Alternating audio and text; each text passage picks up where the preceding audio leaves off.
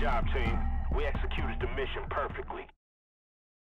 Hey guys, uh, it's TNARG44, and I have a Redstone 7 segment display board guide. So, as you can tell, the it's in that uh, black rectangle there.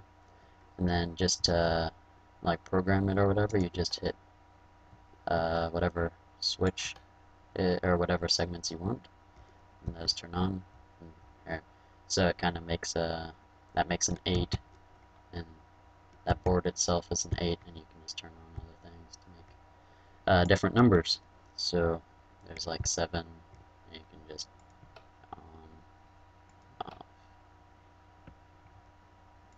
And so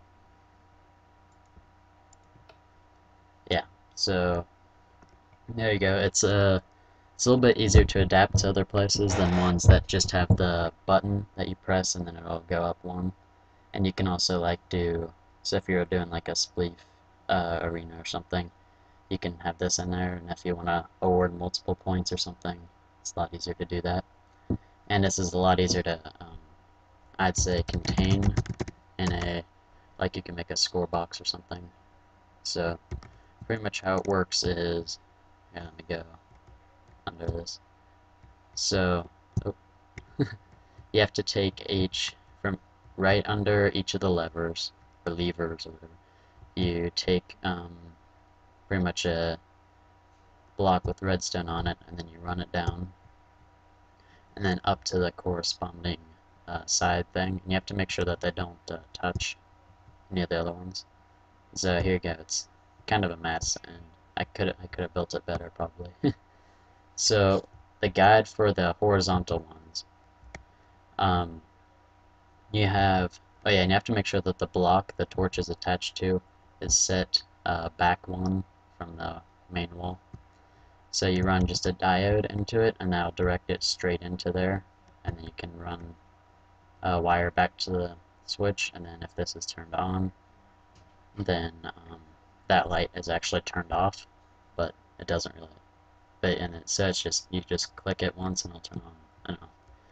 But then for the uh, side ones, and you have to you pretty much build them the same. Uh, all the side ones the same. You run redstone up to a a ladder of these.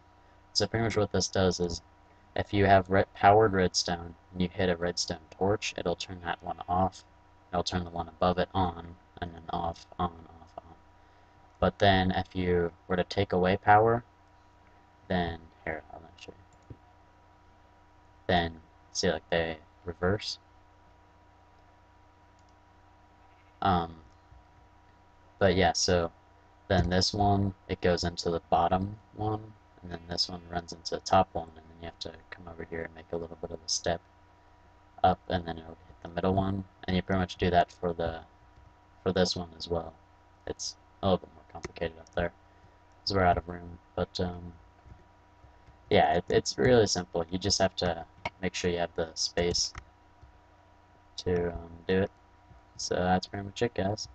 Uh, thanks for watching, and if you like the video, the like button, because that'll help us out. And uh, I'll see you later.